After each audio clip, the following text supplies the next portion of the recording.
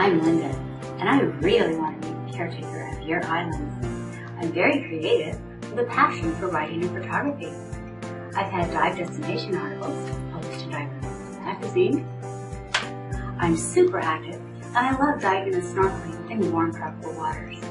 I'm PADI certified, and I travel extensively.